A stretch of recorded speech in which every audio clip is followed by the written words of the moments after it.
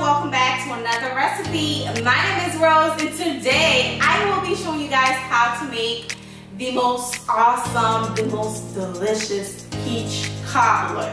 And let me tell you, this recipe is so good. Oh my God, it's so easy too, okay? All you need is some ice cream and you're good to go. So if you want to see this recipe, keep on watching. Don't forget to subscribe to Island Vibe Cooking for more recipes like this one. Leave me a comment down below. How do you make your peach cobbler? Do you use fresh peaches or you just use the regular canned one? So leave a comment down below.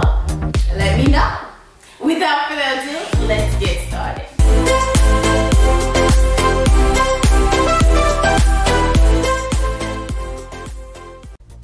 Okay guys, to get started, you will be needing three can of peaches. Now you can use regular fresh peaches if you like.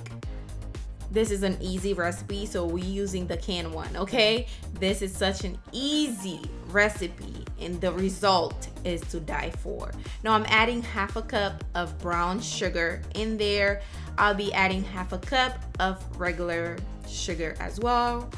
Then I'll be adding some under, I'll say half a teaspoon of cinnamon powder with a little bit of nutmeg, not too much because you don't want to make this taste like a pie. It's not a pie, it's a peach cobbler. So you don't want to add too much nutmeg. Nutmeg is just very strong. And also I added a little pinch of salt. This is just my preference, just to balance out the sugar. Then we're going to give it a stir Next, I'll also be adding some lime zest on there as well. Mm -hmm. Now, I know a lot of people like to use the lime juice. Me personally, I like the lime zest just a little bit in there, just like that. And then we're going to let this simmer on medium low, okay, for about seven to 10 minutes. Just give it a stir let it do its thing, let it boil on medium low.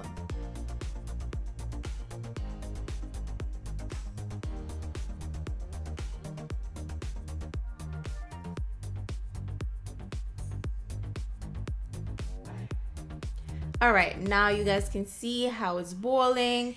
Okay i am going to remove it from the stove. Time to start with the you see how thick it got? Most of the water kind of dry a little bit. Now i'm using two pie crust to um to make the base. Now you can make this handmade. I have i have a recipe where i make pie crust from scratch i will leave it down below if you're interested but I didn't want to go through all of that extra work because this recipe is such an easy recipe and I used the pre-made one. So I buttered up my baking dish. Then I am going to plate the pie crust on there and then we're going to use our hands, okay? My hands are clean, I know. Make sure your butters are nice and melted. Now I'm using the butter so it doesn't stick once once it's done cooking it, it doesn't stick on there. Make sure once you place the pie crust on there, make sure you flatten it with your finger because you don't want any air bubble. It's just gonna look a disaster. So make sure you night, make sure you firm it, press it down with your finger.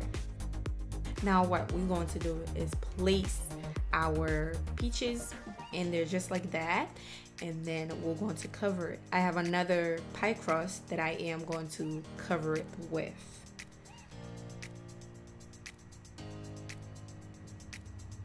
And let me tell you this right here, guys. Mm, I just love peach cobbler. I love it. um, this right here is the other pie crust you're going to need.